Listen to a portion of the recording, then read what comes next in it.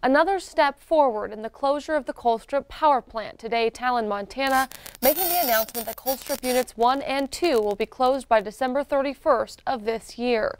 Initially, the plan was to keep the two older units of the plant open into the year 2022, but this plan changes that. Talen, Montana President Dale Lebsack says the decision comes after extensive review and exhaustive efforts to face the financial challenges of the two units. He says the key issue was their failure to negotiate lower coal prices to power the facility.